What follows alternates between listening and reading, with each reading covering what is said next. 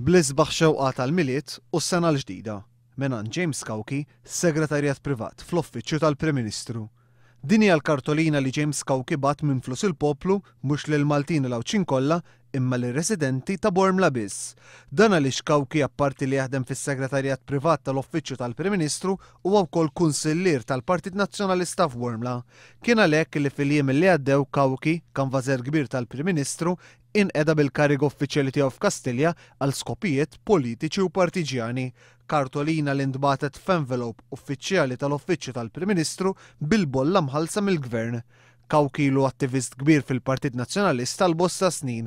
Beda jaħdem fil-Partit Nazzjonalista fiż-żmien li Ugo Mifsud Bonnici kien jikkontesta t-Tieni Distrett, Wara daħal jaħdem ma' Lorenz Gonzi bħala xufier biex issa sar parti mill-uffiċċlu tas-Segretarjat Privat. Cauchi, apparti li huwa Kunsillier tal-Partit Nazzjonalista, fl-2008 sar membru tal-Eżekuttiv tal-Partit Nazzjonalista.